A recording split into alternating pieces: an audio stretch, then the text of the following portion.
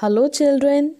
School Education Department Punjab presents E-class, my class. Today we are going to discuss multiple choice questions. Children, the first question is parameter of which of the given shape is 6 centimeter? Children, we already know that parameter is, is the sum of all sides of the figure. So, starting from option A, we find that its perimeter becomes 8 centimeter, which is incorrect. So, option B, if we add all the sides of rectangle, it becomes 10, 10 centimeter. But we need 6 centimeter.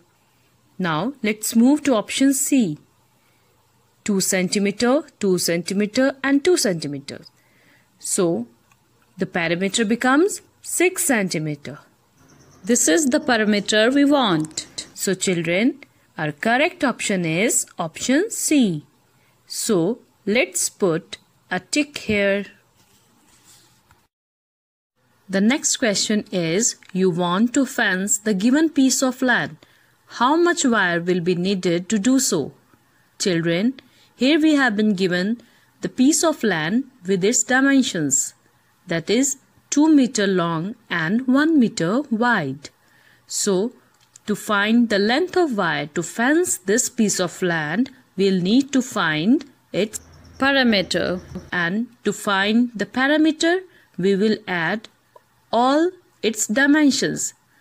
2 meter plus 1 meter plus 2 meter then again plus 1 meter it becomes 6 meter. So let's find the correct option. Starting from option A. Is it 12 meter? No. Option B. 6 meter. Yes, this is the correct one because by adding all the sides we get 6 meter.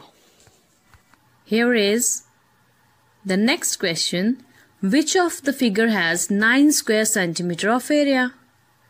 Children, it's very easy to find the area from the given squares. We can find the area by counting the squares. In option A, there are 6 squares. So, its area will be 6 square centimeter. And in option B, there are 9 squares. So, it becomes 9 square centimeter. And then in option C it has 8 square centimeter of area. And option D it has also 8 square centimeter. So we need 9 square centimeters. So children which figure has 9 square centimeters of area?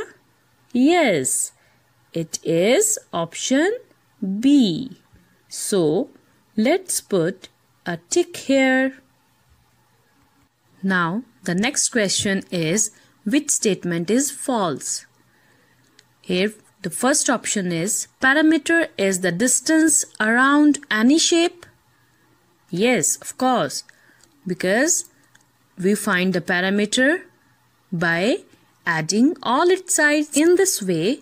Option A is the correct statement.